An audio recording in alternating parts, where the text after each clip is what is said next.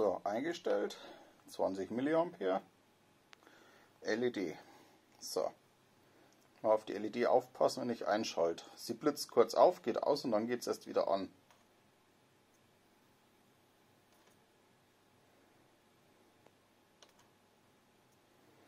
Also das ist das komischste Regelverhalten, was ich bis jetzt gesehen habe.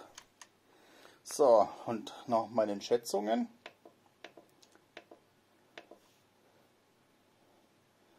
Zeigen wir jetzt mal der LED, wo der Hammer hängt. Jetzt dürfte sie kaputt gehen normalerweise.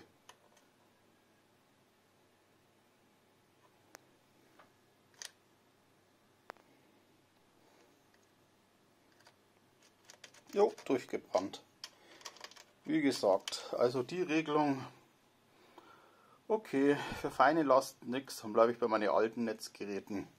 Weil die machen das bei 30 Volt LED 10 mA und das macht Zimp und das funktioniert. Boah, müssen die Chinesen bei dem Billigzeug noch ein bisschen basteln.